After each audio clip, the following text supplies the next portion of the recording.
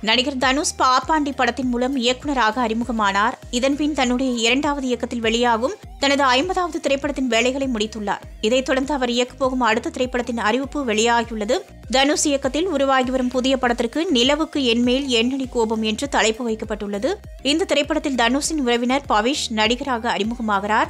மேலும் அனிகா மேத்யூ தாமஸ் பிரியா பிரகாஷ் வாரியர் உள்ளிட்டோரும் இப்படத்தில் நடிக்கின்றார்கள். இப்படத்தை முதன் முதலில் இயக்கவிருந்தது ஐஸ்வர்யா ரஜினிகாந்தின் தங்கை சௌந்தர்யா ரஜினிகாந்த் தான் கடந்த சில ஆண்டுகளுக்கு முன் தனுஷின் திரைக்கதை மற்றும் வசனத்தில் சௌந்தர்யா ரஜினிகாந்த் இப்படத்தை இயக்குவதாக இருந்தார்.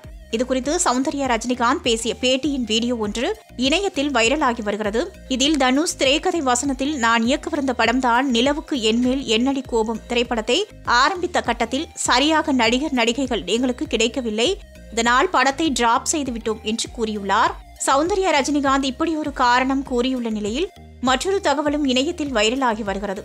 தனுஷ் சௌந்தர்யா ரஜினிகாந்த் இருவரும் ஒன்றாக இணைந்து பணிபுரிந்து வந்த நிலையில் தனுஷ் மற்றும் சௌந்தர்யா இருவரும் இணைந்து பணிபுரிய கூடாது என தனுஷிடம் ஐஸ்வர்யா ரஜினிகாந்த் கூறியதாகவும் இதனால் தான் தனுஷுக்கும் ஐஸ்வர்யா ரஜினிகாந்துக்கும் இடையே முதல் சண்டை ஏற்பட்டதாகவும் கிசுகிசுக்கப்படுகிறது.